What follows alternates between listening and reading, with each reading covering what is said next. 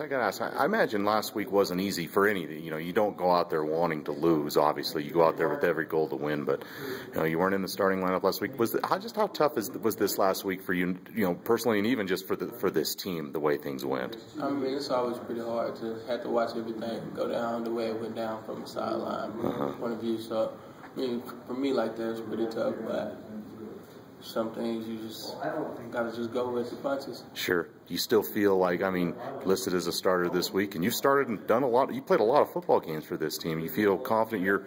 You're back to where you want to be, or where the coaches want you to be, to, to, to you know where you were, you know, last season, even in the first couple games this season.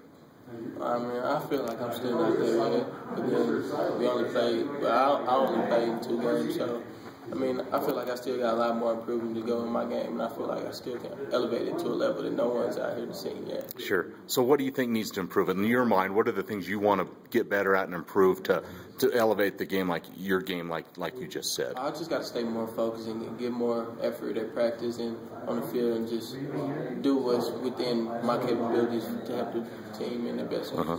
Was that was it kind of a I don't know if a wake up call is the right term, Quest, or just, I mean, you started pretty much, I think, every game last season, and then not starting all of a sudden like that. Was that just, whoa? Did that just kind of, just like, kind of hit you out of the blue, or what was, what was that like? I, you know, I'm sure as a competitor, that's never anything you like to, to go through. I mean, as a competitor, I mean, it's never something you want to go to, but it's just for something that I, I had no call over. So I mean, it came from above. So all I had to do was just do what my role was that weekend, was just to get DeAndre Jones ready to play. Mm-hmm. And are you ready for this week and get back to the role you were at for 13 games last season and the first two this week? Are you ready to get back to that role? Definitely, yeah.